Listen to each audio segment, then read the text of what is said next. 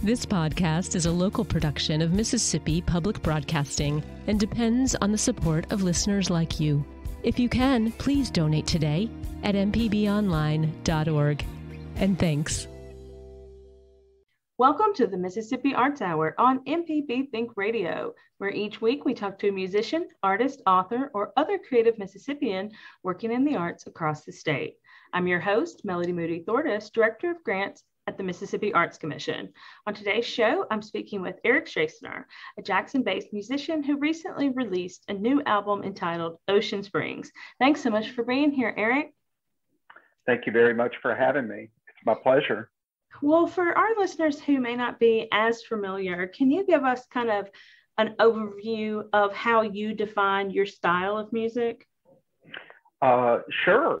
I a little bit. It depends on uh, the record and uh, the sort of cast of characters that's been in the room when I was making that record. Uh, but I would say I'm a I'm a songwriter principally, and um, so you know what I do is write songs, and then uh, when we can get into the studio and kind of interpret those and uh, and make recordings of them. But you know what I would call myself is a singer songwriter, I guess.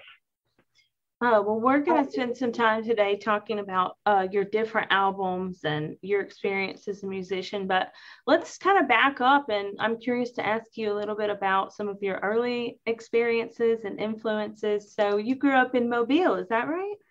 That's right. Yep, I did. Uh, in in the heart of Mobile, kind of down uh, in the mid part of the city, uh, close to downtown and I went to Murphy High School, which was the big, uh, giant high school in that part of town. Um, and uh, the, the sort of connection to Mississippi was I uh, wound up going to Millsaps College here in Jackson in um, the early 80s.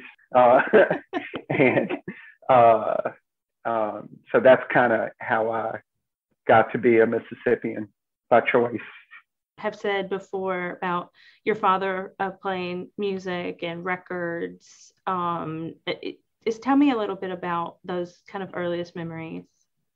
Sure. Yeah. We, I mean, like a lot of families, uh, we had a piano in the house and um, uh, had to take piano lessons uh, and did not show any promise whatsoever at that. Um, but my dad played the guitar, and I absolutely remember being um, around him while he was playing, and he would make up kid songs for us and stuff like that. And he was he was a good player. Um, really, my little brother Sam, um, my younger brother, I should say, in a way was kind of my first musical hero because he started a punk band when we were both in high school. And they were actually really good and i'm going to give a shout out to them their name was johnny in the flesh. And um, i've actually had some people ask me years later did you ever see that band in mobile? And i said yeah my brother was the tall good looking guitar player. So um, the fact that he learned how to play and then you know made it happen was out there playing, I, I saw them in literally in the garage go from guys that couldn't play to this band that was really good. And, and that was exciting. And I was jealous is the wrong word. I, I think I was just really impressed. And then um, a guy who I'm sure we'll talk about in a minute, Will Kimbrough, is from Mobile. And he you know as early as middle school was uh, winning the talent show at our middle school uh, playing in a band when he was in eighth grade and i was in seventh grade. And um, and so he was kind of a prodigious talent. Even in high school he was making a living as a full-time musician. And um, and and i think this is really important is writing really good songs. and so I think that um, I, I just assumed that every sort of medium sized southern town had bands that good. And I don't think it's the case. I think Jackson did. Um, and I found that out when I moved here. But um, I don't think it's that common. And and looking back, I think that was both of those things were real critical for me. I, I mean, my brother was doing it, and one of my best friends was not only playing in a band, but at this incredible level from the time he was a kid. Um, so, and, and, you know, my family had records. We had this room that my mom called the study, which was, you know, it was so 70s. The walls had those grass mat, um, seagrass wallpaper. And I remember the way that room smells. And that's where the record player was and all the records. And um, no TV, nothing like that in there. And I totally remember um, saving up, buying records, and then playing them or pilfering my parents. Yeah, I, will never forget they had the Herb Alpert record and you know Miles Davis records, and I just thought the covers were incredible. So I'd listen to all that stuff, and I was just a sponge from early on. I really liked music more than more than any other, I think, form of art. So you just got in there with the record collection and and started listening to different things, or were you hearing that? And you know, I'm just curious because you know that's you can you can stay at a at a turntable for hours and hours just looking at album covers and being curious. Yeah, I can, and and uh, you know that's one thing um, that uh, it, it's interesting the way folks consume music now. And, my best example are all my children who are almost grown. Uh, they're in college, and my daughter is a senior in high school. And I'll ask them, they love, all four of them love music, and they have really deep and different tastes. But I'll ask them, oh, that's a cool band. You know, that sounds great. Where are they from? And they have no clue and and they really don't care. You know, uh, it's more in, in a way it's pure because the music is just coming to them as music. Back then, in a way, the album cover was such a huge part of it. And if there were liner notes, that was very interesting, or the inside sleeves were very interesting. And you could tell who played on the record and who produced it and all that stuff. Uh, um, you know, that was really cool to me. Uh, for instance, I remember listening to Elton John records when I was really little. I think Elton John's greatest hits might have been the first record that I saved up money and bought myself. Uh, and I was telling somebody in another interview not too long ago, I could have done a lot worse than that. that they were great songs. And um, and, you know, it was cool to find out that somebody else wrote all those lyrics. And then I, I think it made me think, well, you know, how do you write lyrics? How do you make up a song? Uh, and his songs were pretty, um, what's the word? Dramatic and fantastical, uh, and um, maybe cinematic too. And I think I just remember sitting on a couch in that room and it was just music transports you. And it sure did me. um, that or Tommy by The Who. You know, The Who were really uh, huge for me. And, um, you know, I, I guess I always thought about songs early on. And I was just kind of uh, focusing on uh, songs and how they went and lyrics. It was just, I was going to say it was like magic. The truth is, it's, it's absolutely still like magic to me. Mm. So, as you were listening to these albums, you're seeing your brother play. What did you pick up first? What did you, when did you actually start playing? Not till a lot later. Um, I think that I didn't think I could uh, because I was so impressed with, um, you know, like I said, Will Kimbrough's band or my brother. I, I just, I just assumed it was something that I couldn't do.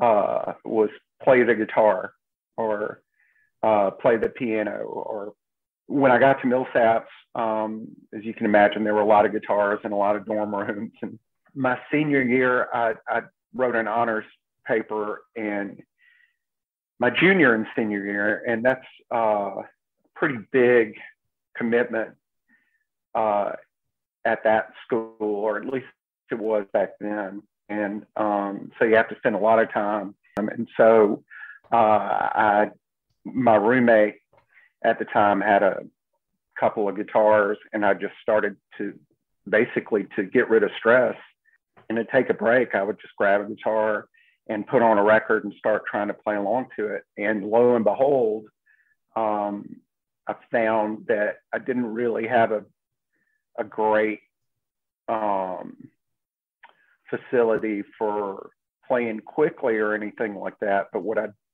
did have was a pretty good ear and so I could figure out how songs went pretty quickly.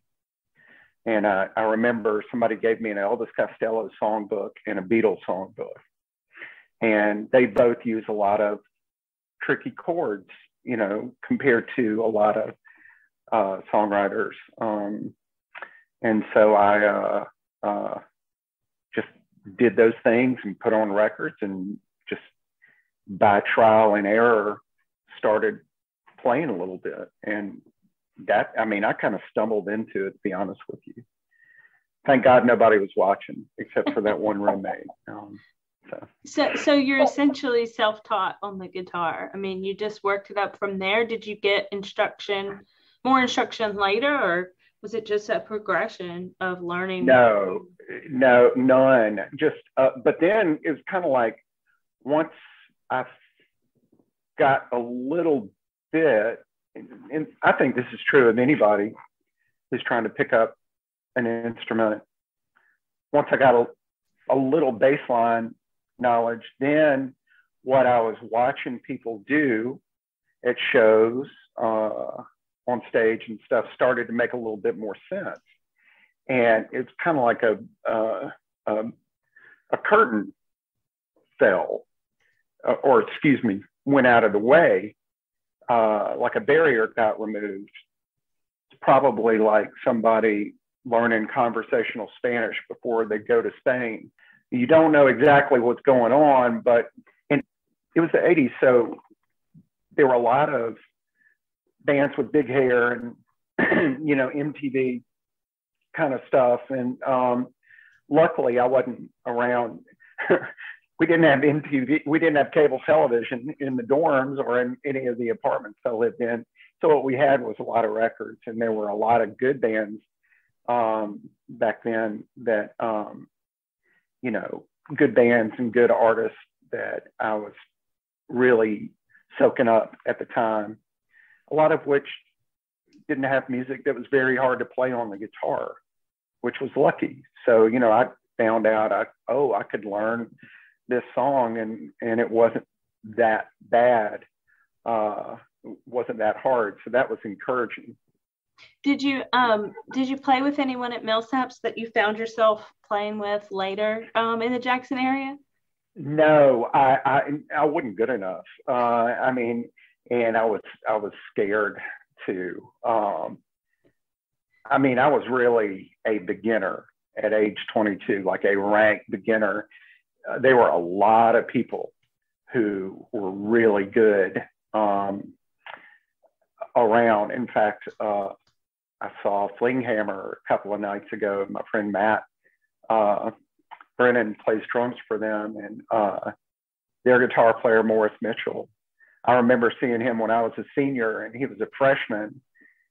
And I was just learning how to play the guitar, and I saw him in somebody's dorm room, and he was just ripping already. And I thought, I'm never going to play guitar around any of these guys. They can all, you know, all these young guys were killing it already. So I kind of uh, uh, tried to do it in secret for for a while. I didn't inflict myself on on the general public for a little while.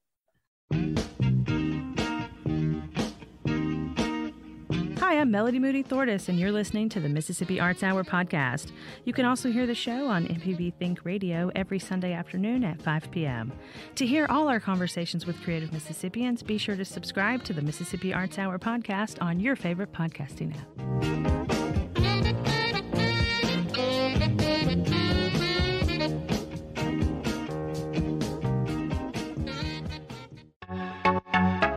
Hello, I'm Dr. Nancy Lottridge Anderson, president of New Perspectives, a fee only financial advising firm and co host of Money Talks. For over 10 years, Money Talks has been answering your personal financial questions and sharing knowledge about money management. Money Talks can be heard Tuesdays at 9 a.m. on MPB Think Radio. Podcasts can be found on our website, money.mpbonline.org, or on your smart device's podcasting platform. This is an MPB Think Radio podcast. You're listening to the Mississippi Arts Hour on MPB Think Radio. Each week on the Arts Hour, representatives from the Mississippi Arts Commission speak with different creative Mississippians. Today, I'm speaking with Eric Stracener. Eric was twice named Best Singer Songwriter by the Jackson Free Press and is here with us today talking about his new album, Ocean Springs, and his creative journey in music. So, Eric, um, I wanted to talk to you about your new album, of course, but I thought we might kind of start um, and talk about your four albums. So, why don't you tell me a little bit about um, Sockeye, your first album uh, you released in 2003?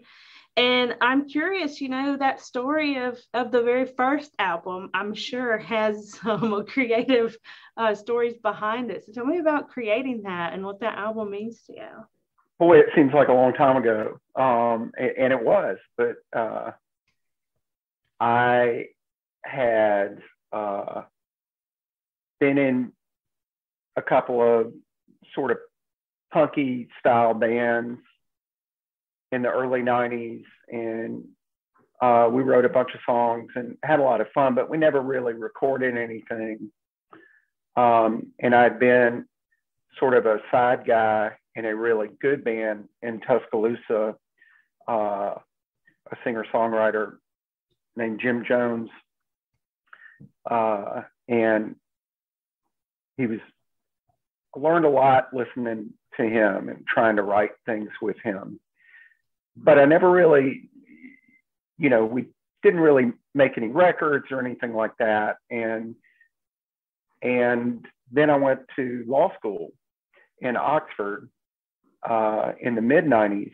And, you know, I sold my Stratocaster and uh, my amp, and um, I had an acoustic guitar and a lot of homework uh, to do and didn't really play much. But I was always trying to make up songs and trying to get better. And I was really playing a lot of acoustic guitar.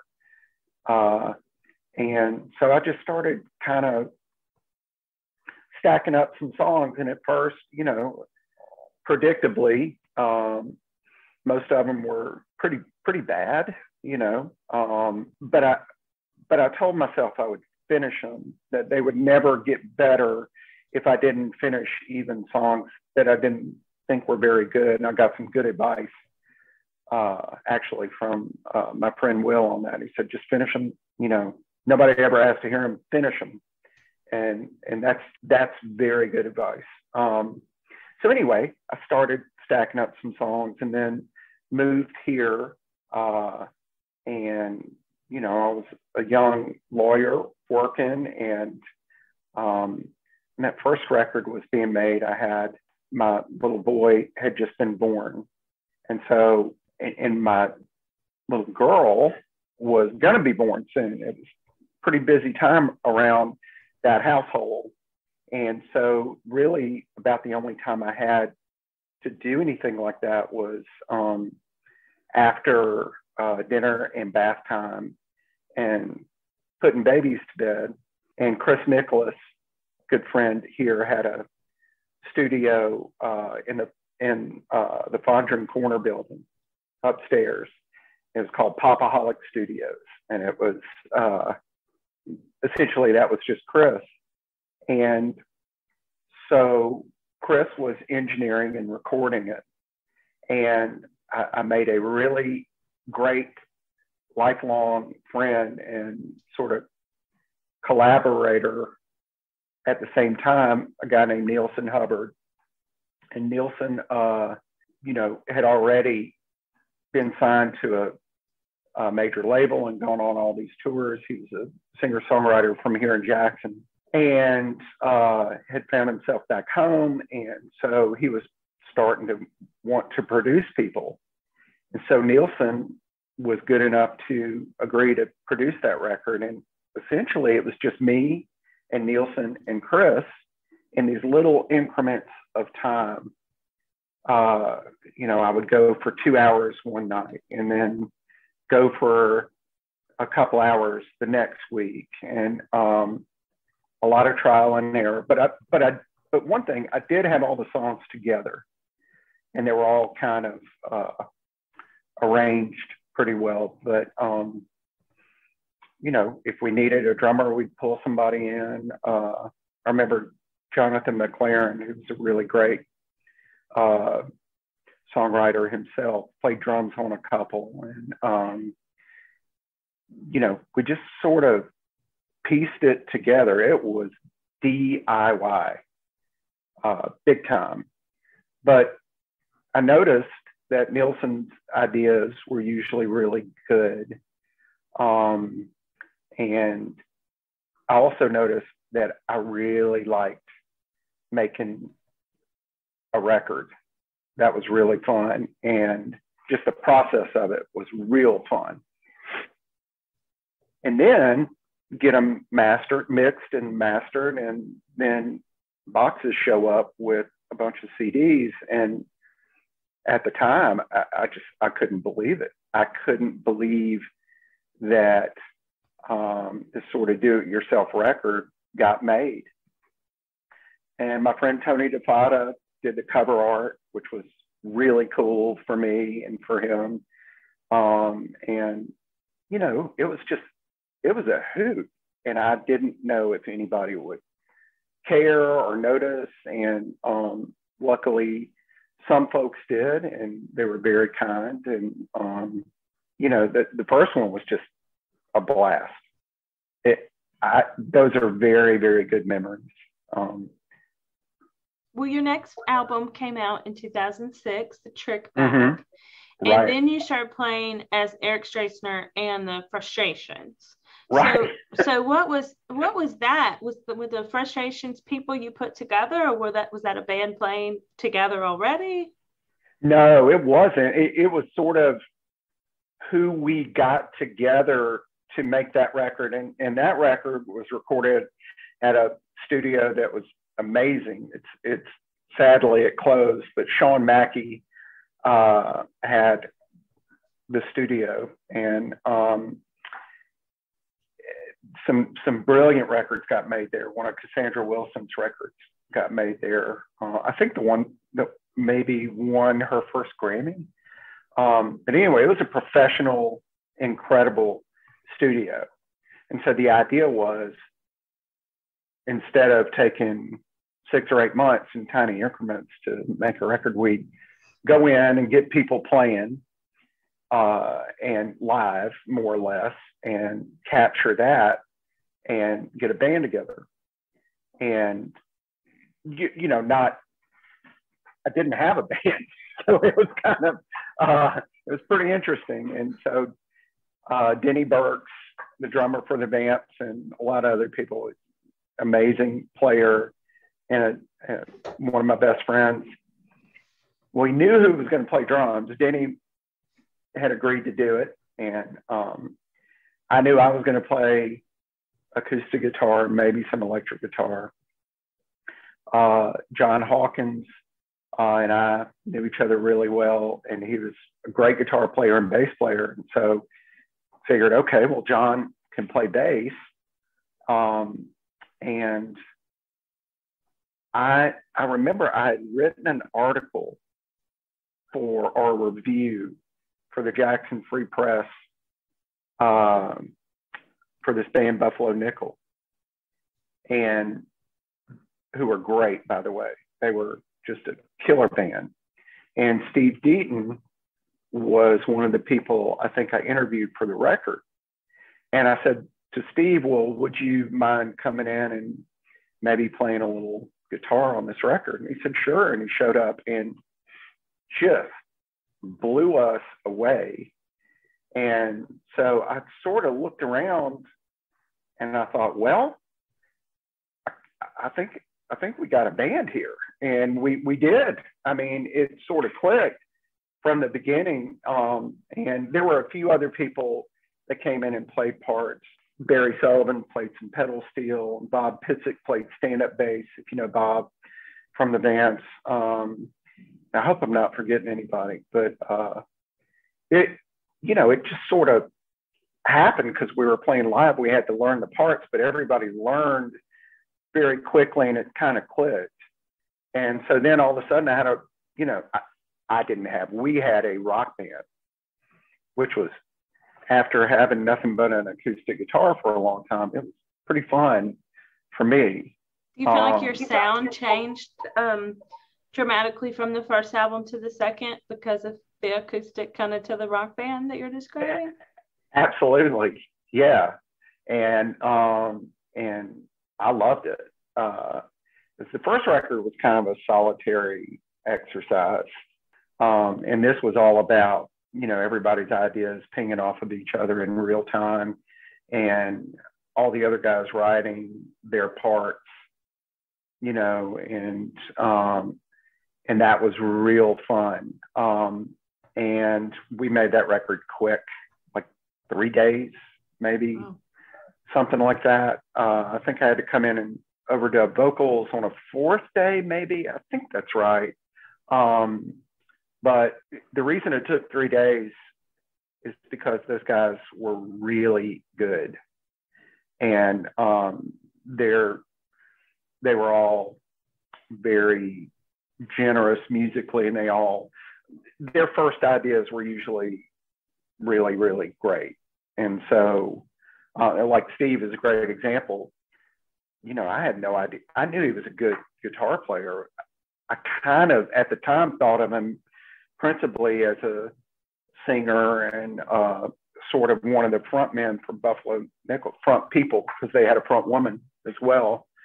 Um, but he came in and just played blazing guitar. And I, and I remember when he was getting his case to go, I, I think I said something like, well, if someone ever asked you to just be a guitar player in a band, what would you think about that? And he said something clever like, well, someone ought to just ask me. And I said, okay, I think that's what I'm doing. And he said, all right, that sounds fine. And and so then uh, that record came out, and we learned a bunch of songs, and we played a lot of shows as that four piece, and that was really fun. So when we so we moved to your third album, Levee. I never quit making up songs. I I never quit playing the guitar a lot. Um, it just it just took a while, and and Levee is sort of back to the DIY method of putting a record together. We did these like guerrilla recording sessions one some of those songs were recorded in a in a deli in Steve's Deli downtown. Some of them were recorded at James Patterson and Ron Blaylock's old gallery. Um, some were recorded in uh, Kevin Cornell's studio. Uh, some bits and pieces were recorded at Denny Burke's studio he had at his house. So the, the my hat goes off to Kevin Cornell for mixing that record because it's pretty hard to take a bunch of different um, recording sessions and make it sound like a record. And I, I think he did. I, I don't know how he did it without having a nervous breakdown, but he did. And um, and so that's another reason that took so long to get a record out is I would do some stuff and then, you know, just get busy for a year. And um, like I said, there were a lot of changes going on and other stuff got more important, um, which is fine. Uh, but by the time we sort of had to grapple all that stuff together, I, I love those songs. And um, the folks playing on the record again did great. And it was some of the same people. Uh, Steve Deaton played a lot of guitar. Jimbo Harwell played on it and did some great arranging as well. He's a really, really great guitar player. Um, Denny Burks played drums, um, and uh, Will Kimbrough. That was the first time Will and I had ever recorded anything together. And so we were sending files back and forth as musicians can do now. It's not always a good thing, but when um, a guy who's really good lives in Nashville, it's okay to send files to him, and then we get back, you know, incredible parts and and poor Kevin had to had to weave all that together, uh, but he did, um, and uh, he he did a really good job of it. So that record I I, uh, I really like, and it's not like I have a memory of making it because making it occurred over the course of a decade, literally. Hi, I'm Melody Moody Thortis, and you're listening to the Mississippi Arts Hour podcast. You can also hear the show on MPB Think Radio every Sunday afternoon at 5 p.m.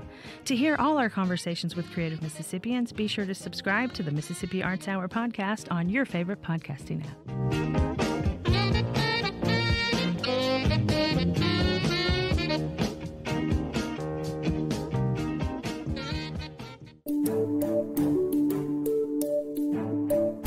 Hi, I'm Dr. Jimmy Stewart, professor of internal medicine and pediatrics at the University of Mississippi Medical Center. On the original Southern Remedy, we answer questions about all aspects of your health and share some of the latest medical information in the news. You can listen to the show on Wednesdays at 11 on MPB Think Radio, or you can subscribe to the podcast by searching for Southern Remedy on your preferred podcasting app. This is an MPB Think Radio podcast.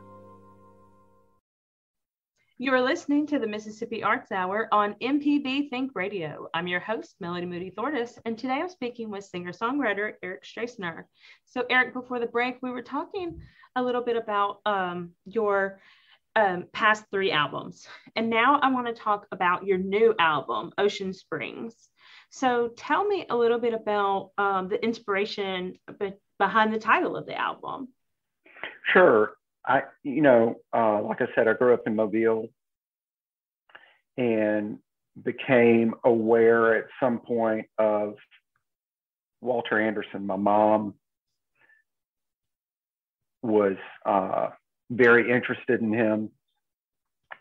And I think uh, sort of exposed me to that whole world, which is to me very fascinating. Um, he's probably my favorite artist. I, I don't know if that would be true if he weren't from next door to where I grew up, but I think so. I, I just think um, he and a lot of his family um, were just amazing and also uh, real interesting and um, you know, to me, flawed and complicated, uh, a, a, complicated person. Um, and complicated people are interesting to write about. Um, and I miss the Gulf Coast sometimes being up here in Jackson. I miss uh, the water and uh, live oaks and just the way it looks, and the way it feels in the wintertime. And um, so I had never really written a group of songs with any kind of um, theme before, but this time I did, and um, maybe I was just homesick, um, and I had started uh, dating my wife Shelly, so I, she lived in Pensacola, and I was riding back and forth, you know, hugging the Gulf Coast for a lot of that drive, a lot. And I just started thinking. I started playing a lot of shows down there too, and I just started having that on my mind and maybe being a little nostalgic and maybe a little homesick. And uh, so I guess Walter Anderson and Ocean Springs kind of became a, a subject for starting points for songs. And um, four or five of them are, are you know, uh, pretty much directly about that or about that locale. And in fact, on on the we made vinyl of this one, and on one side of the vinyl it says, you know, suite for the Gulf Coast or whatever. Um, pretty pretentious, but it was a little tongue in cheek. But in, anyway, it was um, it was pretty intentional to do it that way. To, I, I mean, I told myself I'm going to write some songs about X, and and did it. And I'd never really done that, and I found it in a lot of ways a lot easier. So, um, and so that's what I did, and I made them up and wrote them up, and uh, I really uh, need to say this is somebody who you're a fan of and a friend of, but um, I started playing all these songs uh, with Jamie Weems, and he was mostly playing mandolin. And he and I started playing some shows together, and that just clicked. Um, pretty instantly. And also, um, you know, he became a really good friend really quick. He's just, you know, you know this, but he's he's an incredible musician and a really good person um, with a good family, really great people. And so that was just really comfortable. And he very much helped kind of create how those songs were going to be. Um, I've been playing solo shows for a long time, no longer band shows for several years. And I, I think I was a little tired of it looking back because having Jamie play mandolin and guitar on some songs um, just made it super fun and fresh. And so I had these new songs and a new collaborator. And so I just started popping them out. And then uh, the pandemic hit. And I really started popping them out because there wasn't there wasn't much to do. And so I got back to you know, Will Kimbrough's advice, I started finishing everything. Uh, you know, I started looking back at all my notebooks and um, I keep all these little kind of moleskin journals with all these scribbly bits in them. And I record on my iPhone anything that I, on guitar that I think might be useful later. And I've started just finishing. And um, so there we were in a pandemic. Didn't have any gigs. Jamie and I couldn't really play. And so uh, I started, my idea for to record this one would be to uh, do the opposite of what I'd done on Levee. Um, 12 years to make a record is not uh, like a real efficient model. so I, uh, I thought, well, let's don't do that. And um, so Neilson Hubbard and Will Kimbrough live in Nashville. And I just said, look, let's get me on in the studio you want to use. I'll save up, I'll set aside some time. And as soon as we all feel comfortable doing it from a pandemic safety standpoint, we'll book it. And so I booked it far enough in advance last summer. And by the way, I, I need to say that um, the studio is owned by uh, Dylan Alldredge, who's from the Mississippi coast. He's a young guy, and his studio is great. It used to be Neilson's, and Neilson passed it on to Dylan, and now Neilson works there all the time, and lots of good records get made there. And Neilson works there all the time. Dylan obviously owns it, and he's there every day. Will Kimbrough works there all the time. So the idea was, I'm going to get you two guys, and and at the time the plan was to have Jamie come too, and the four of us are going to be in a room for three days, and we're just going to make a record. Bam, bam, bam.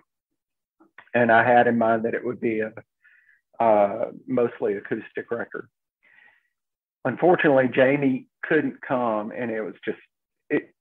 You know, it was one of those things where he had family obligations, and he hated it, and I hated it, and um, he will for sure play on the next one.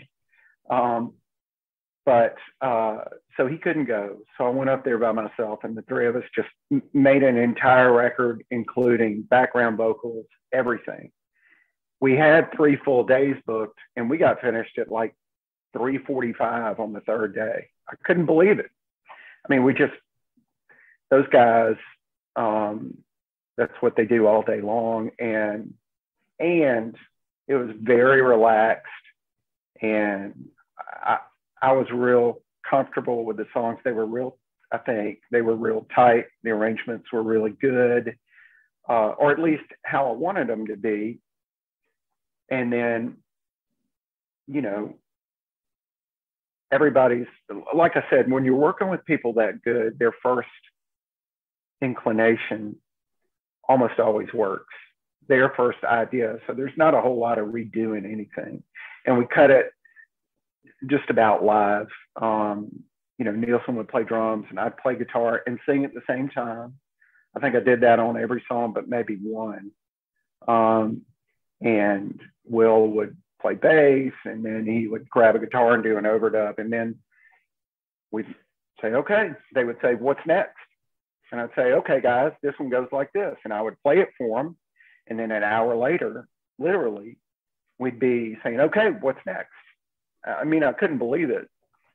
I should believe it because they're incredibly talented guys. Um, and and you know pros. Uh, people pay them to help them make records for a good reason. I'm just lucky because they're friends of mine too. Um, so uh, we wrapped that thing up in three days, and uh, I was fortunate enough to be able to put it, or at least get it ordered to be on vinyl, and that took a long time because there's only so many uh, there's only so many factories that press records anymore, and uh, so we got it done in three days. Well, it sounds like through our conversation, you know, we talked about Levee kind of being recorded all over Jackson and uh, kind of being a nod to that city. And then Ocean Springs really bringing back these memories and um, the coastal towns. And so, my last question as we wrap up is what's next for you? What are you exper- experimenting with? I know you're obviously, you know, promoting your album and, and doing that. I don't know how much you're being able to perform with COVID um, numbers, but, you know, I figure you're always working on something or think about something musically. So, what's, what's absolutely? Next? I'm always scheming. Uh, you know, it's funny. We, we had, uh, our uh, album release party at Ron Blaylock's gallery in Richland, which is a great venue, by the way. Everybody ought to. Ron is having music almost every week, and it's really a sweet place. And so me and Matthew McGee and Jamie played that to get Jamie Weems played that together, and we worked up all the songs as a trio. It was really fun. And the turnout was amazing. It was great, huge success. And then I remember going home that night, you know, kind of exhausted and really happy and grateful everybody came out. And I was thinking, all right, so what the hell are you going to do now? And that's how I always think about it. Um, and and there are four or five. Uh, one thing I'm always doing in my journal is writing titles, like, and I think I'm up to about four or five songs that might be keepers. And when it gets to be about 10 or 12, that's when I start thinking, okay, it's time to get these recorded. And, you know, I mean, being able to make records is just something I'd never thought would be possible. And the act of making them is plenty reward. It's great. Thanks for listening to this MPB Think Radio podcast. MPB depends on support from listeners, so if you can, please contribute today at mpbonline.org.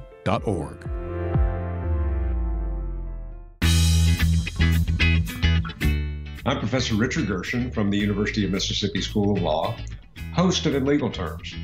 If you're enjoying this podcast, I encourage you to listen to In Legal Terms, the show about you and your rights. We find interesting legal topics to bring to you and let you know how the law affects you. Find in legal terms on any podcasting platform on your smart device or on our website in legalterms.mpbonline.org.